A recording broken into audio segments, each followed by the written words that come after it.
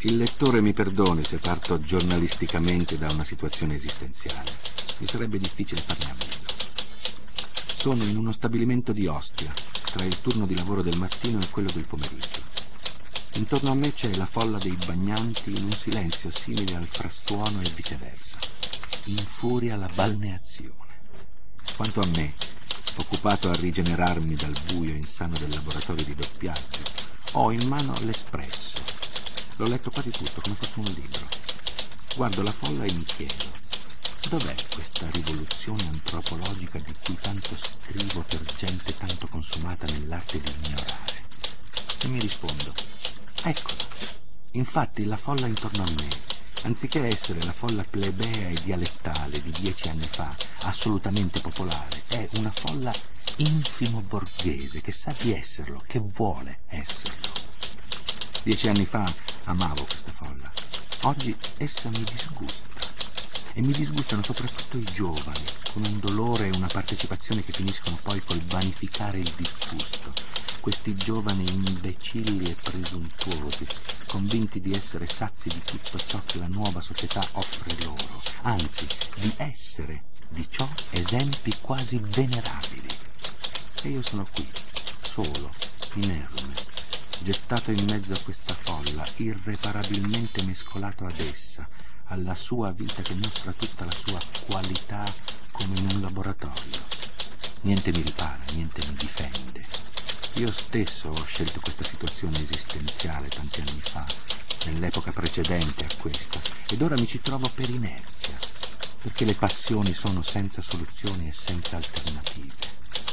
D'altra parte, dove fisicamente vive? Ho l'espresso in mano, come dicevo. Lo guardo e ne ricevo un'impressione sintetica. Com'è diversa da me questa gente che scrive delle stesse cose che interessano a me? Ma dov'è? Dove vive? È un'idea inaspettata, una folgorazione, che mi mette davanti le parole anticipatrici e credo chiare. Essa vive nel palazzo. Non c'è pagina, riga, parola in tutto l'espresso, ma probabilmente anche in tutto panorama, in tutto il mondo, in tutti i quotidiani e settimanali dove non ci siano pagine dedicate alla cronaca, che non riguardi solo e esclusivamente ciò che avviene dentro il palazzo. Solo ciò che avviene dentro il palazzo pare degno di attenzione e interesse. Tutto il resto è minucaglia, brulichio, informità, seconda qualità. E naturalmente di quanto accade dentro il palazzo, ciò che veramente importa è la vita dei più potenti, di coloro che stanno ai vertici.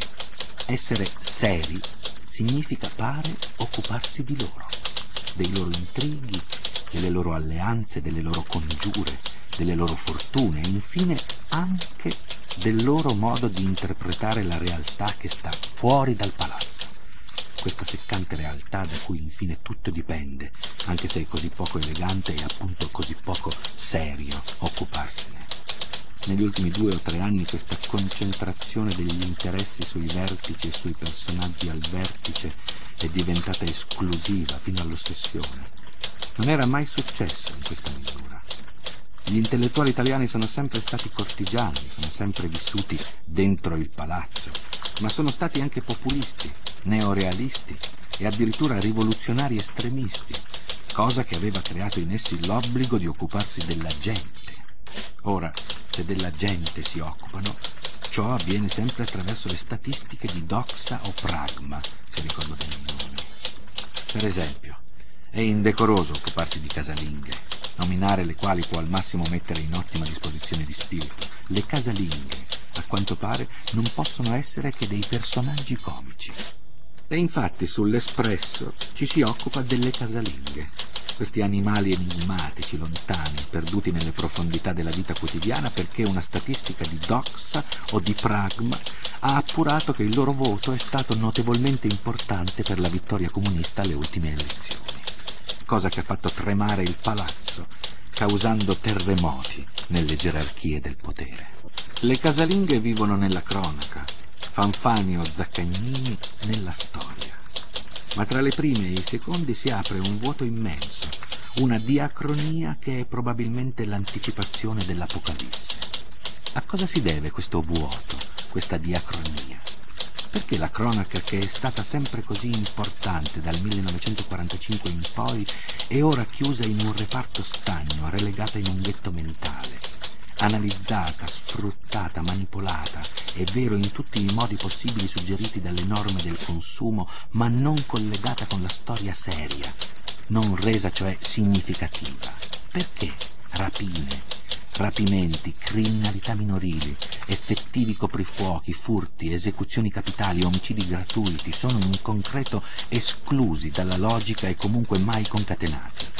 Due ragazzi di 17 anni, alla Dispoli, luogo di villeggiatura della malavita, hanno ferito mortalmente a rivoltellate un loro coetaneo perché non gli aveva dato le candele della sua motocicletta che servivano alla loro. E il paese sera intitola il pezzo su questo fatto di cronaca Assurdo a La Dispoli. Assurdo forse nel 65. Oggi è la normalità. Quel pezzo doveva essere intitolato Normale alla Dispoli. Perché questo anacronismo nel Paese Sera? Non lo sanno i giornalisti di Paese Sera che l'eccezione è trovare nelle borgate romane un diciassettenne senza rivoltello? Perché nessun giornale ha parlato di una sparatoria con mitra a causa di una Porsche rubata avvenuta due o tre sere fa a Tormarancio? Perché nessun giornale ha parlato dei colpi di rivoltella sparati alle gambe di un giovanotto che fa il culturismo da un ragazzo di 15 anni che gli ha gridato la prossima volta ti sparo in bocca? Voglio dire, perché la stampa rimuove e fa passare sotto silenzio migliaia di reati come questi, i furti e gli scippi non si contano, che avvengono ogni notte nelle grandi città, trascegliendo fra tali reati solo quelli di cui non si può decentemente tacere, e per di più sdrammatizzandoli imponendo all'opinione pubblica un adattamento. Ma non voglio rincarare la dose e passare per un uomo d'ordine. Sia ben chiaro che la malavita mi interessa solo in quanto i suoi rappresentanti sono umanamente mutati rispetto a quelli di dieci anni fa.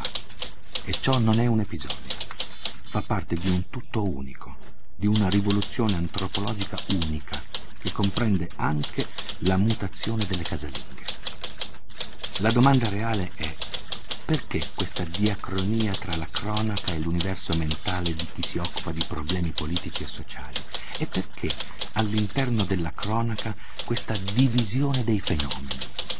Ciò che avviene fuori dal palazzo è qualitativamente, cioè storicamente, diverso da ciò che avviene dentro il palazzo.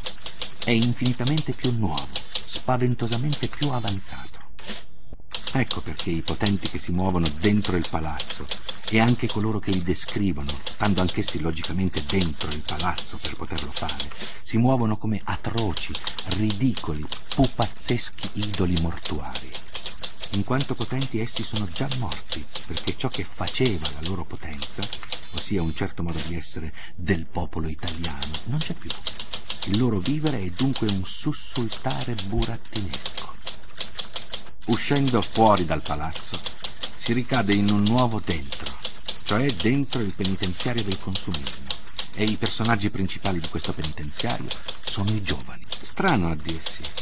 È vero che i potenti sono stati lasciati indietro dalla realtà con addosso come una ridicola maschera il loro potere clerico fascista, ma anche gli uomini all'opposizione sono stati lasciati indietro dalla realtà con addosso come una ridicola maschera il loro progressismo e la loro tolleranza.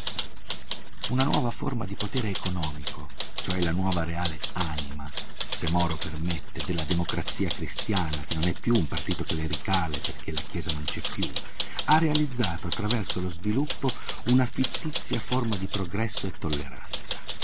I giovani che sono nati e si sono formati in questo periodo di falso progressismo e falsa tolleranza stanno pagando questa falsità, il cinismo del nuovo potere che ha tutto distrutto, nel modo più atroce. Eccoli qui, intorno a me, con un'ironia imbecille negli occhi, un'aria stupidamente sazia, un teppismo offensivo e afasico, quando non un dolore e un'apprensività quasi da educande con cui vivono la reale intolleranza di questi anni di tolleranza.